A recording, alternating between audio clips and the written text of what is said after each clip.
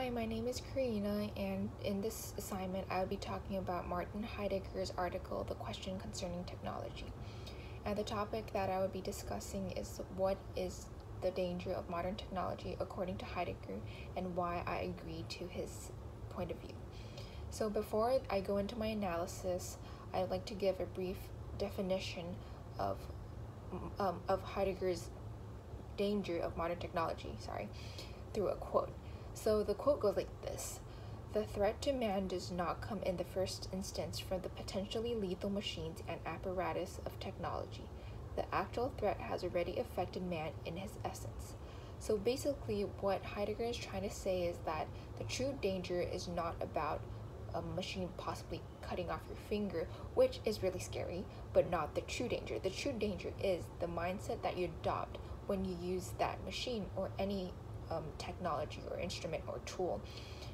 And that mindset would be you would be seeing things for its purpose, for what it could be, what could it serve for me as a person, instead of looking at it as what it is, what true essence, uh, the true essence within that thing. So, for for example, um, I would be using my computer, and instead of thinking what, as, instead of asking the question, what it is, like what the computer is, I was thinking, what is it? What could it serve for me? What could I use? Could I watch Netflix through it? Could I do homework through it? Could I look up information? So we would, we would be looking at things, viewing things for their purposes, for what they can be, instead of what they are. And that mindset would be extremely dangerous if we apply it on humans. So it, so that mindset doesn't seem to have any problem when you're looking at um, a, a computer for say or a pencil for say. But when we put this mindset on humans so we would be thinking what information could i extract from this human being's brain? Or what labor could i have this person contribute to me?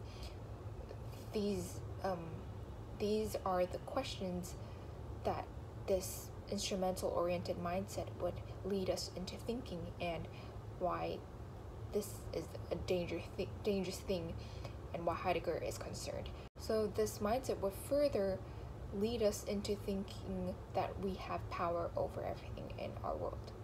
And that false sense of overinflated power that humans gain through this through modern technology would prevent us from understanding what the world really is because uh, since philosophy is basically trying to know what the world is, what the true essence of the world is, this mindset would not only prevent us from knowing, but all but further pull us away from further and further away from the core value of of this whole world. So we would be thinking that we understand everything. We we would think that we know what the world truly means, but instead it's only something that we perceive. And I find myself really agreeing to Heidegger's words and how this instrumental oriented mindset is dangerous for our world, for us, for the society, because there are a lot of instances that sometimes I think to myself, what does the world truly mean? What is actually the true essence, the prim- primal truth of things? Because I find I think that a lot of things or principles in this world is defined by humans.